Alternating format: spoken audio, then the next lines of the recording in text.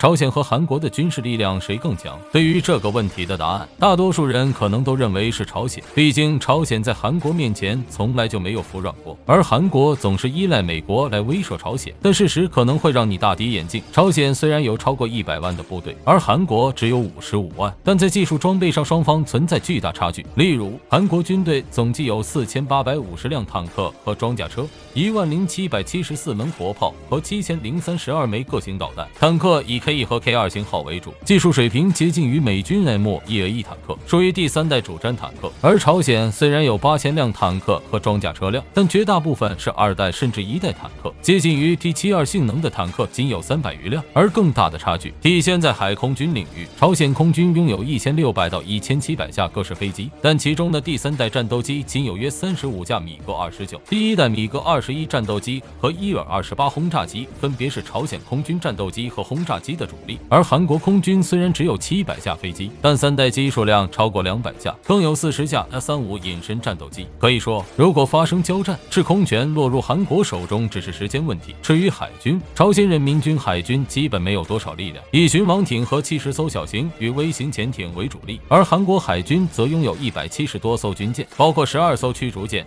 十二艘潜艇和三十二艘护卫舰，双方不在一个数量级。总体来说，按照全球火力网站对朝韩军。力设置的排名，韩国长期位于世界的七到八名，而朝鲜则从没有进入过前十五。看到这里，可能有人会问了：既然朝鲜的军力不如韩国，那么为何首尔方面一直如此畏惧朝鲜呢？长期以来，朝鲜都保持先军政策，强调要发展强大的军事力量以保护自身安全。但考虑到朝鲜的直接军事假想敌是美国，而朝鲜的 GDP 远远不到美国的百分之一，这注定朝鲜很难通过常规方式和美国抗衡。在这种总体背景下，朝鲜发展出了非常独特的军事思想，那就是不求能彻底击败对手，但求能让对手付出无法承受的代价。这种战略的核心在于，因为敌我力量差距非常悬殊，朝鲜的目标就是给对方。造成巨大的伤害，只要这个伤害是对方无法承受的，那么不管对方的实力有多强，对手都不敢和自己发动战争。在面对韩国的时候，朝鲜的常规力量就能达到这一目的。韩国的首都首尔距离三八线仅有四十公里，而韩国绝大部分的人口和经济产业都在首尔附近，这意味着朝鲜的远程炮兵都能让韩国的核心区变成火海，更不要说朝鲜导弹部队和空军了。长期以来，经常有人指责朝鲜拥有大量过时的火炮，指出这些火炮。在战时生存性能很差，这话虽然是事实，但问题是朝鲜只求拥有在瞬间摧毁首尔的能力。这些火炮能够短时间开火就是胜利。正是因为朝鲜具备让韩国瞬间大出血的能力，韩国军队在总体上的军事优势实际上就变得无关紧要了。他们仍然无法承受和朝鲜发生军事冲突的代价。至于朝鲜是如何对付美国的，那就要提到朝鲜的另一个优势了。朝鲜的 GDP 远远不到美国的百分之一，但却敢于正面和美国叫板。关。键就是朝鲜的导弹和核武器。美国距离朝鲜有上万公里，朝鲜的常规力量很难让美国付出沉重代价。基于这一点，朝鲜很早的就看出了核武器